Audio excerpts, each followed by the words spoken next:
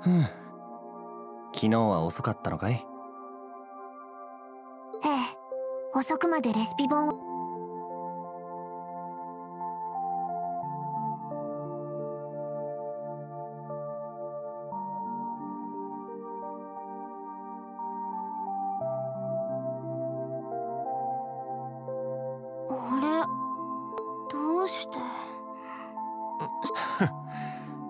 見事な寝ぼけっぷりだな。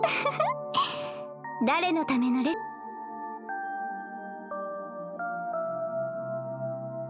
ュゼ？ほら。まったく。そろそろ本例だ。本校の？あれ？やれやれ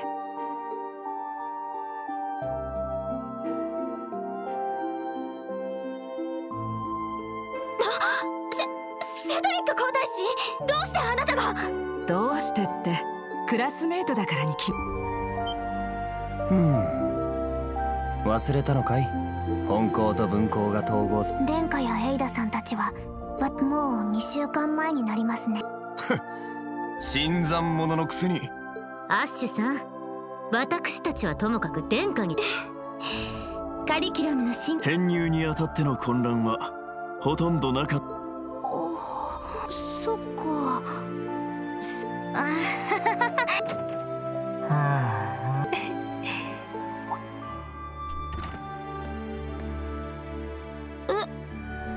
7組全員揃ってるな。今日のカリキュラムは。ごめんなさいね。まだ担任が決まっていなくて。私たちで何とかフォローしますから。どうか頑張ってください。ええメアリー教。マカロフ教官も。おう。それじゃあまずは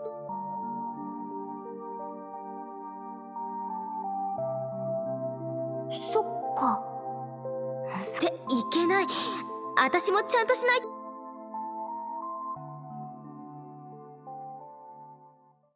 それは心地よくそして充実した日々だった。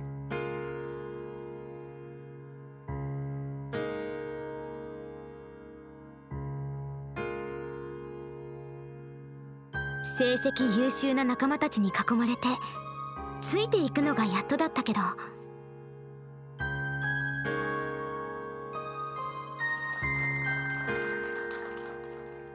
お互いに切磋琢磨しながら高め合い共に過ごしていく学院生活。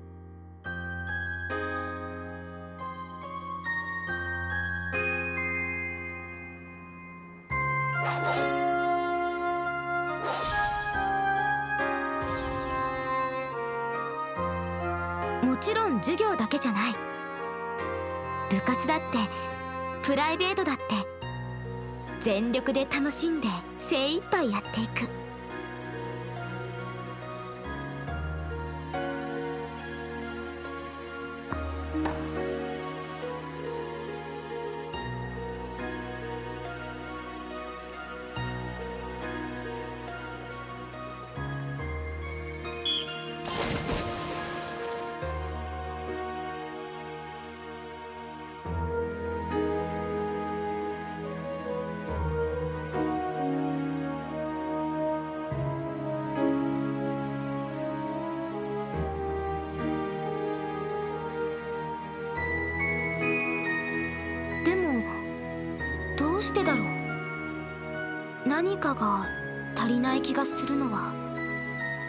私たちを導いてくれた声。落ち着いているけどどこか放っておけなくて。押し付けがましいところもあるけどちゃんと見守っていてくれて。そう年も離れていないのに私たちよりもはるか先に行って。あれは誰だったんだろう。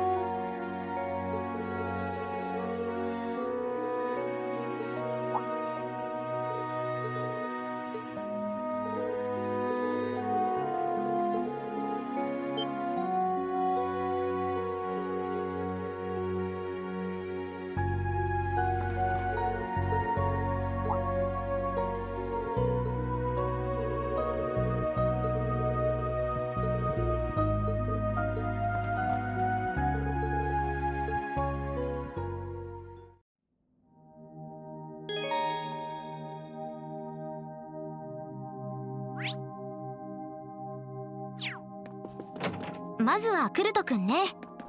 部屋にいるのかな？訪ねてみましょう。廊下の突き当たりです。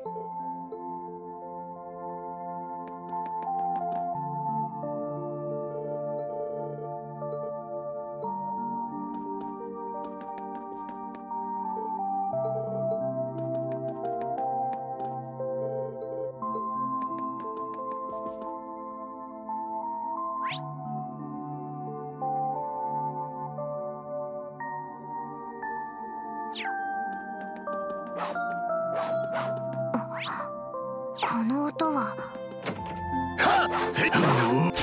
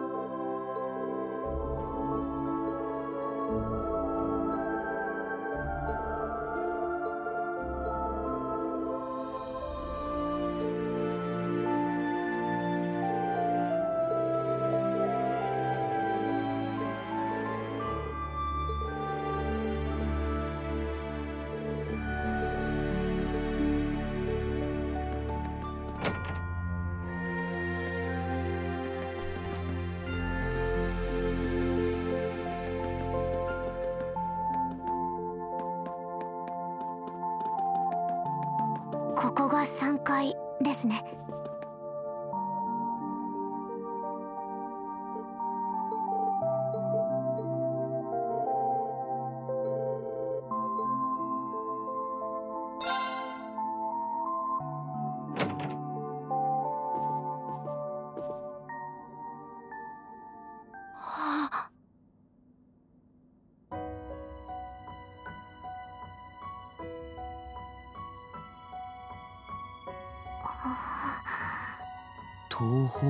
掛け軸。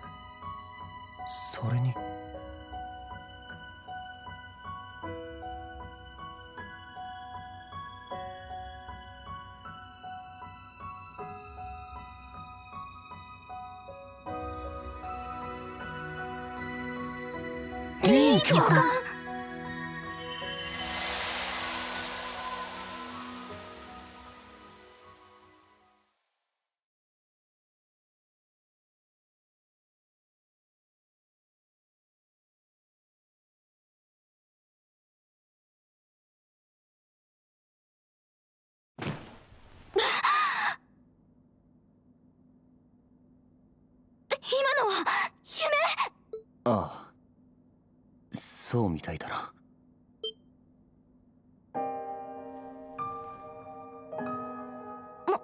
もしかしてクルト君も今ああ同じ夢を同時に見ていたとしか思えないなそれと。思い出しました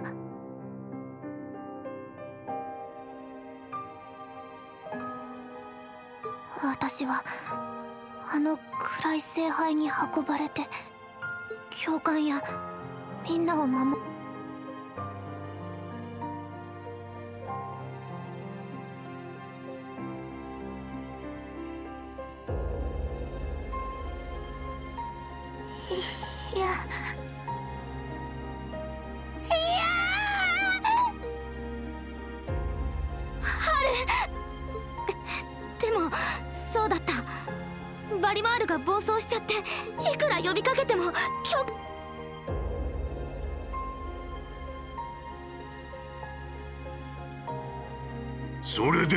始めるとしようディーン。世界を絶望で染め上げる。暗き週末のおとぎ話を。オズボーン宰相が最後に教官に語りかけて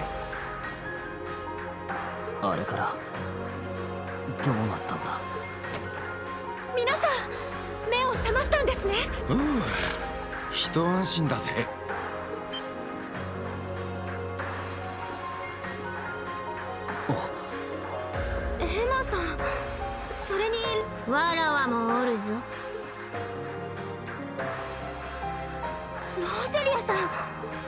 一体それに。まさすがに驚くわな。安心してください。ここは祖母のアトリエです。私の実家でもあるんです実家って？目を覚ましたって？うん。そうみたい。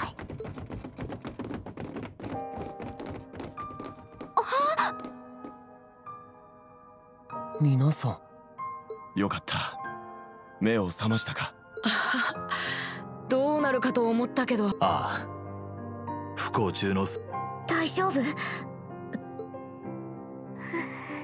無理もあるまい。加えて2週間の昏睡だ。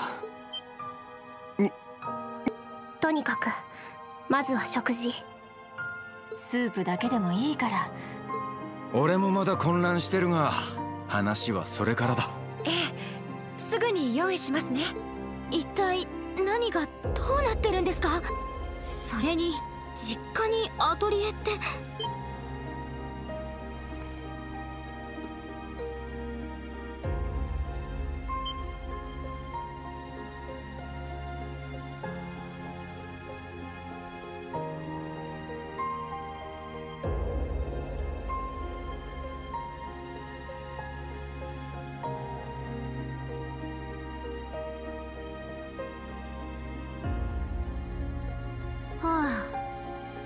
とりあえず長として挨拶をしておくか。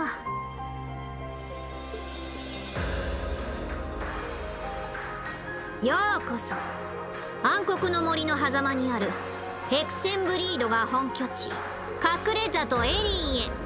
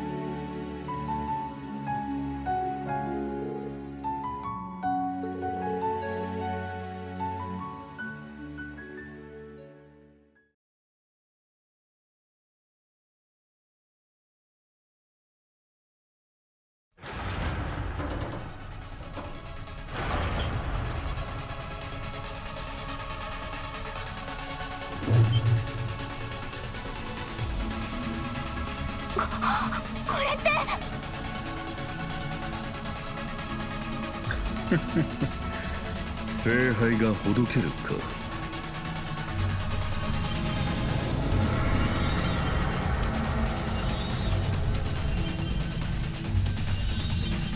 通常空間への回帰歪みが発生するわ。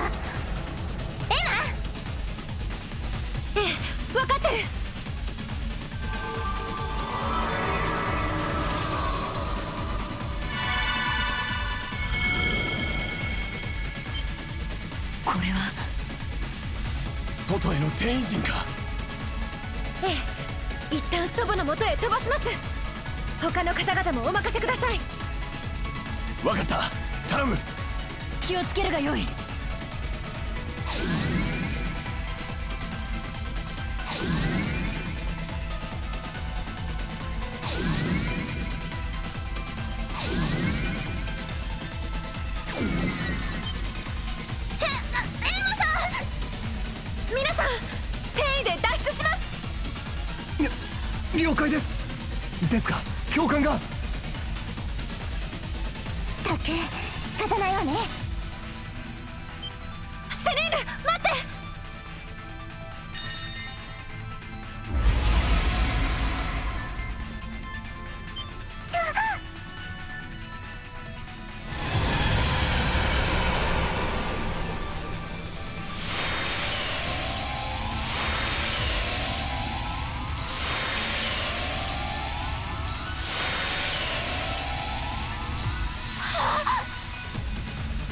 教官とにかく脱出が先です。3人とも寄ってください。アルティナさんをしっかり抱えて。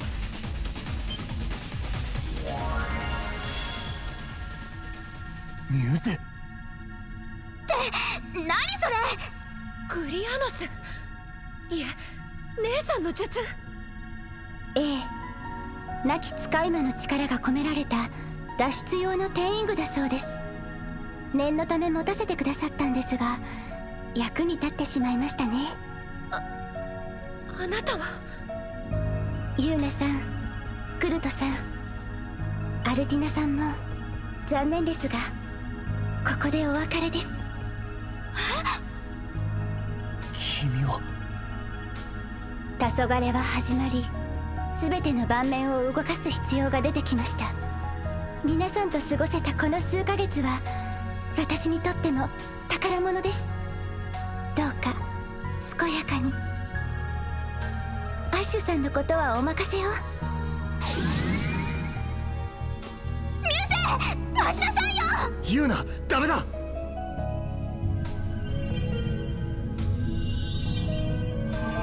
空間が持ちません。こちらも転移します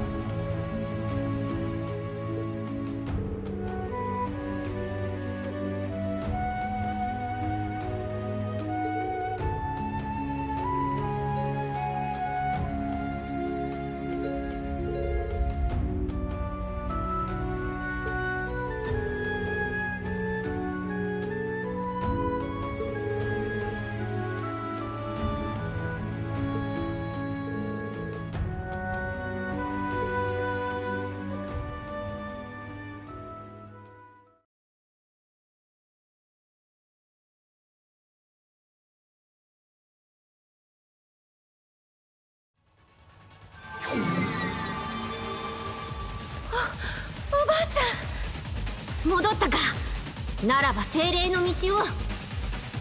おい大丈夫なのか？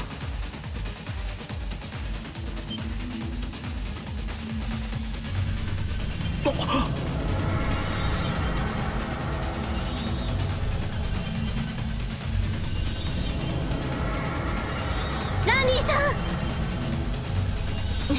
ん！ダメじゃ。間に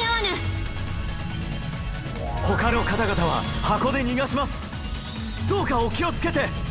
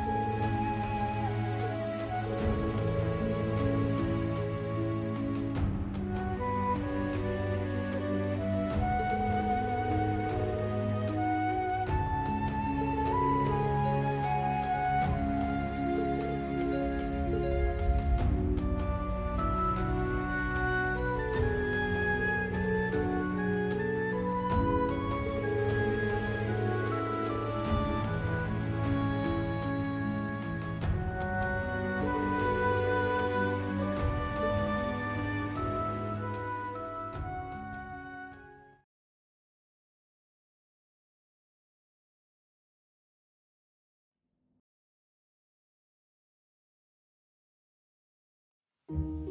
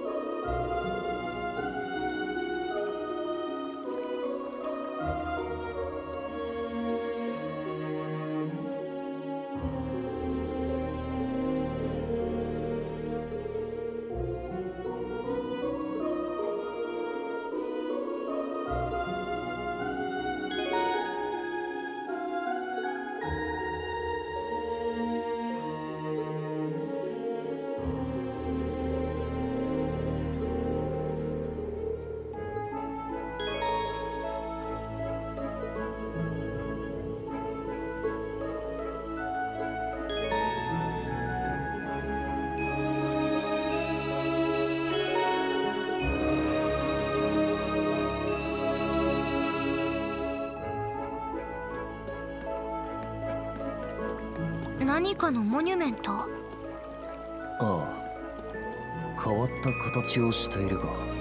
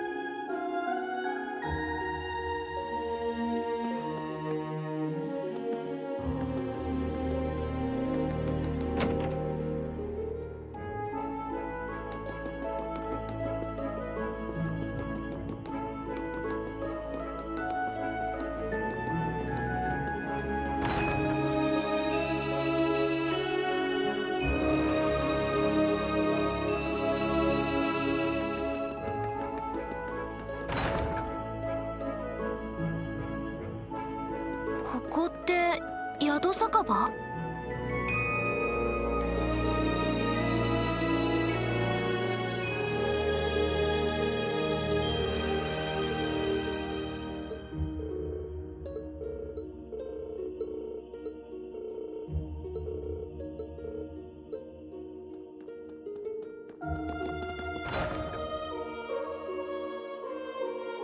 それにしても不思議な空をしているなでこの世の場所じゃないみたいな。魔女の隠れ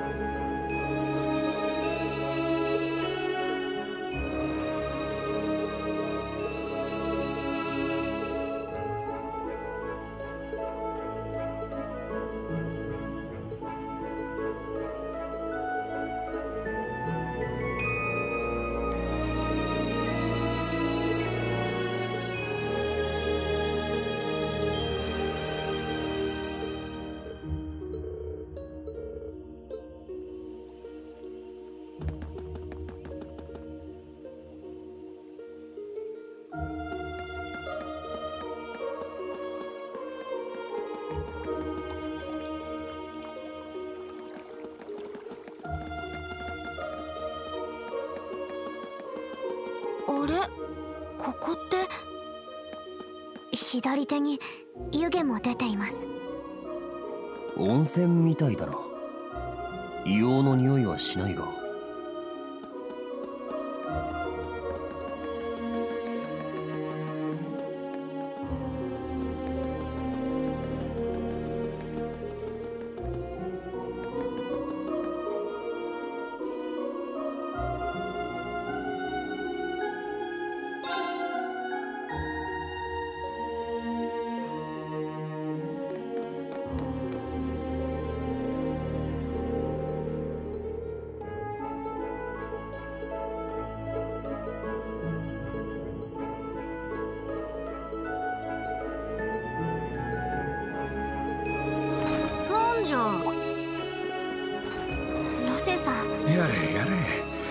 その97の連中も同じみてえだ。ま無理な。エマから聞いた限り鉄血や知性それこそ。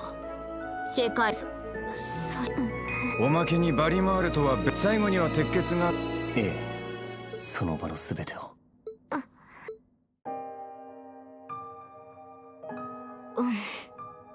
なんだろう。うん。まてそういえばそれでは始める年世界を絶望で染め上げる。どうして最初はあの時教官を呼び捨てにしてたのかな？前にデートで話してた時は。そういえば。へえ。ある？何か？それはある。うん。アル吉は情報局だったか。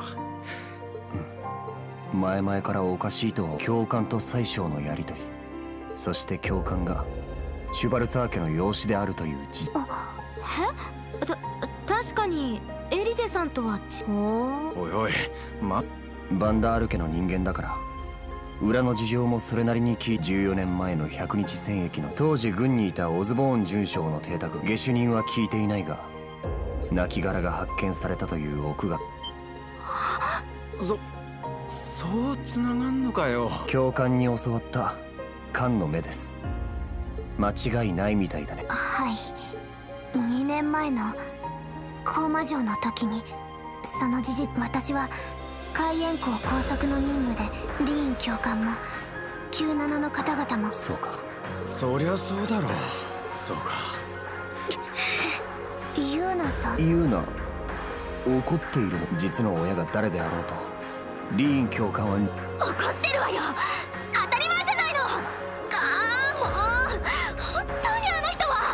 それに先輩たちも。いほら二人とも。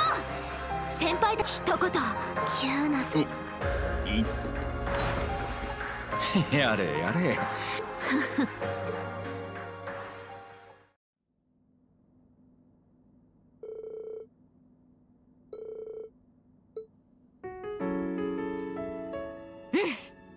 あの。話があると言ったがその心なしか僕たちに怒っているように見えるんだが。ええその通りです。そのユーナさん。よくわからないがもう少し冷静に。クルト君たちは黙ってて今しがた聞きました。リーン教官の実の父親についてあの鉄血宰相ギリアス・オーズボーンその人だって。それは。そうかちゃったんだね。だがユーナどうかリーンを悪く思わないでほしい。彼はずっと苦しんでいたわ。宰相のやり方と理不尽な要請に。ああ兄に対する俺の葛藤よりもはるかに大きなものだっただろう。なのに決して折れず自らのなすべきことを果たし続けた。ええ。北方戦役の時といい不器用なくらいにね。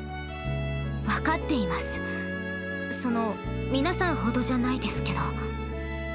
でもこれは私たち新七組の方がわかると思うんです。あの人が。リーン教官が今この瞬間も苦しみ続けているって。それは。あの時私たちはこの目でずっと見届けていました。教官が真実宰相たちを止めようと視力を絞り続けていたことを。でも力及ばず私たちを助けようと身を挺してかばったの。を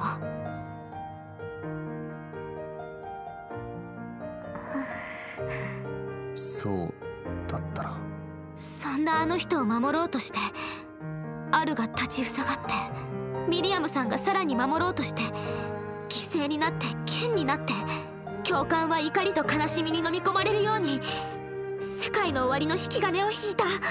そして実のお父さんは教官にさらなる何かをさせようとしている。間違いなく今この瞬間もあの人はずっと自分を責めている。ミリアムさんを守れなかったって。取り返しのつかないことをしちゃったって。だったらそんな教官の胸ぐらを掴んででも違うだろ。そうじゃないよって。何としても分からせてやる。それが皆さんにしかできない。役目なんじゃないんですか。有望。あなたたちがやらないのなら教え子の自分たちが動くだけです。あの人には恩も借りもあり。必ずや見つけて喝を入れてみせます。バンダールとしてではなくトールズ第二新七組として。教官は私のことを根気よく導いてくれました。自分で考えて自分で決めろって。それが私としてあることだって。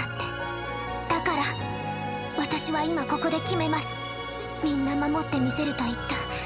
ミリアムさんの意志を継ぐことを。絶対に教官を取り戻して今までのお礼を伝えること。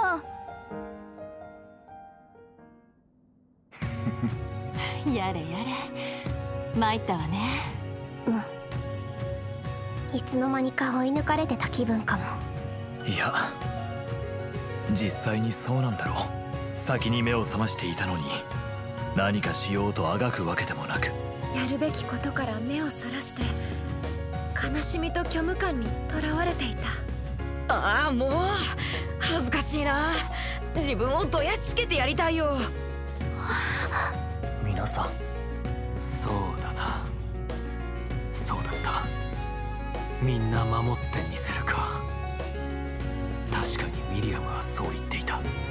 ならば我らもまたその魂を体現するだけのことだ。いつも誰かのためにあがき続けた。不器用で大切な仲間のためにもそしてあの日彼やミリアムとやり遂げると誓った大方針表においては戦争を食い止め裏においては真実を見極めるその誓いを果たすためにもクローのこともあるね。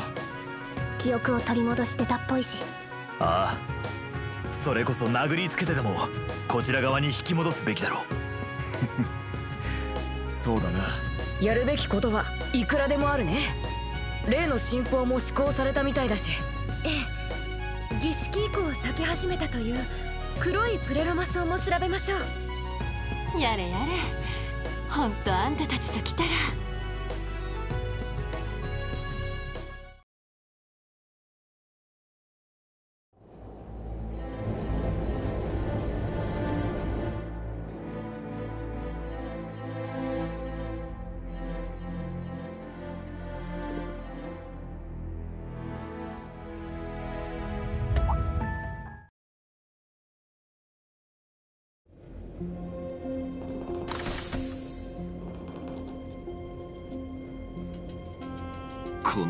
ころにかくまわれなくてもてめえのケツくらいてめえで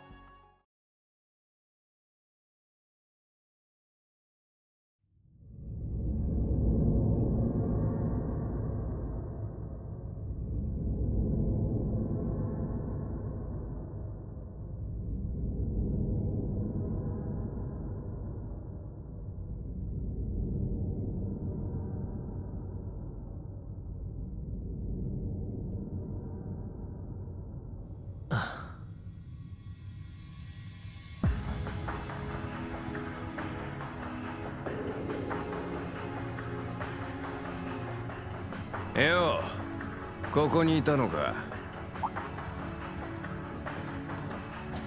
なんだ？あんたらか？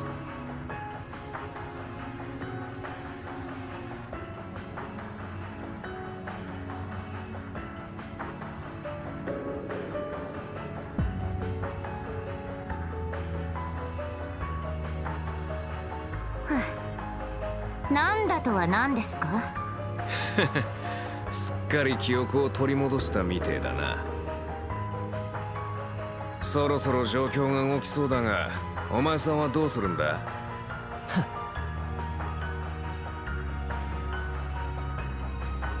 契約は切れ奴らの駒として動く必要もなくなった。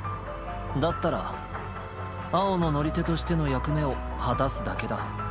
全てが終わるまでの短い間だがな。へえあなたは。ま俺としてはむしろ好都合ってもんだ。じいさんの弔い合戦のリベンジのチャンスだからな。あんたをわざわざ楽しませるつもりはねえが。そりゃ残念だ。ま気が向いたらぜひとも相手をしてくれよ。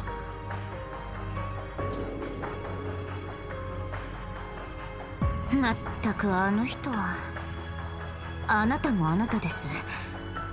どうしてそんな？惚れさせちまったかい？って主大好きっ子だったか？いや可能性があるとすれば。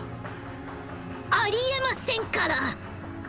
まったく公園と一戦記の娘といい人のことをちょろいんだのなんだの。いやその通りじゃん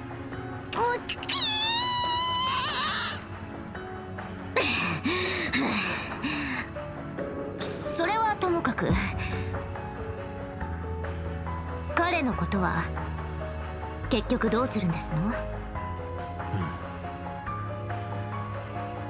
奴自身の問題だ。ただまあ。今の低たらくじゃ相手をする気にもなれねえな。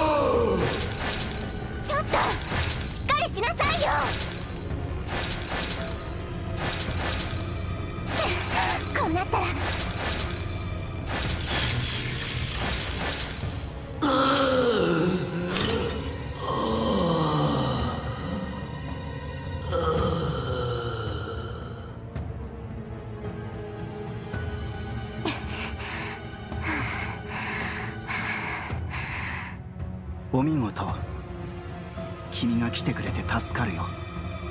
あんた。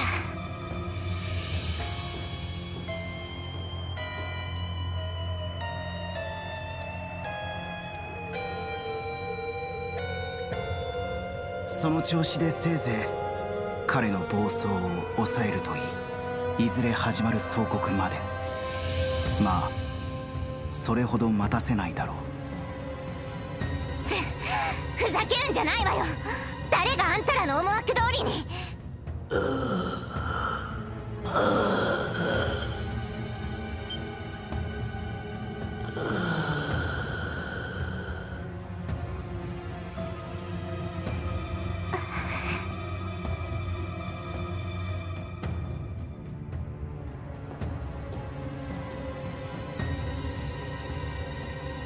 しっかりしなさいよ。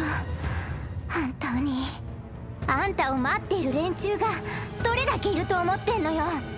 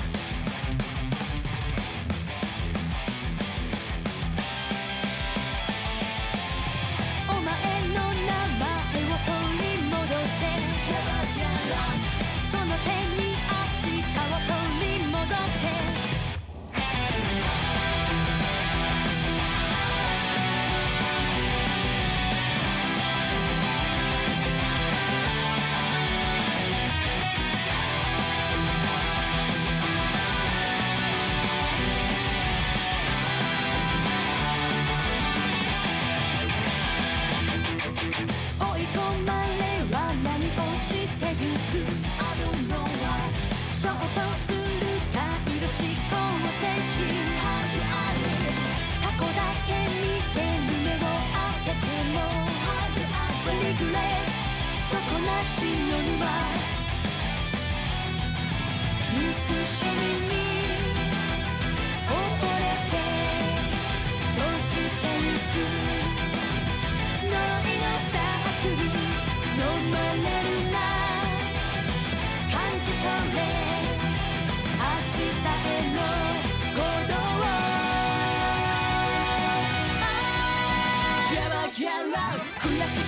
苦しくて悲しくて寂しくて恋しくて叫び出す。Baby えてる呼んでいるあの声が取り戻せ。そんな手にお前の名前を。